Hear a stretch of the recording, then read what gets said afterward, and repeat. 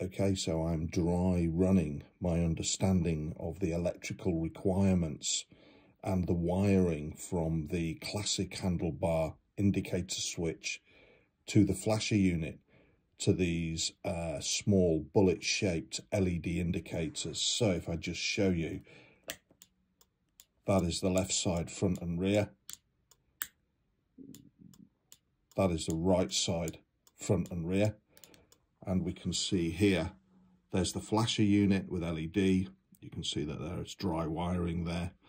Um, there is the uh, variable to increase the flasher timeout and here on top of my ThinkPad is the classic indicator switch. So no indicator and simply thumb operated. You can hear it there on the video.